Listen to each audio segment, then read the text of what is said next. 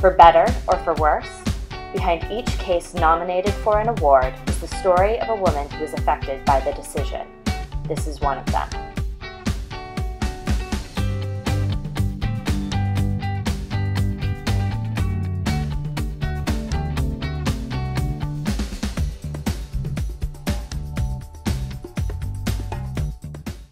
The equality of women in marriage, particularly in custom, is very important, and that we must remember that uh, women play an equal role as their spouses.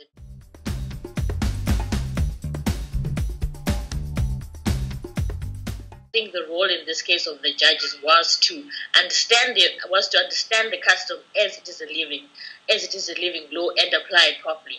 So I think in this instance, the role of judges is really to understand the way women are being treated on the ground and see if there's a need to improve the way that they're treated uh, and ensuring that their rights are protected. Join us via Facebook and Twitter and visit our website. Get to know the Gender Justice Uncovered Award.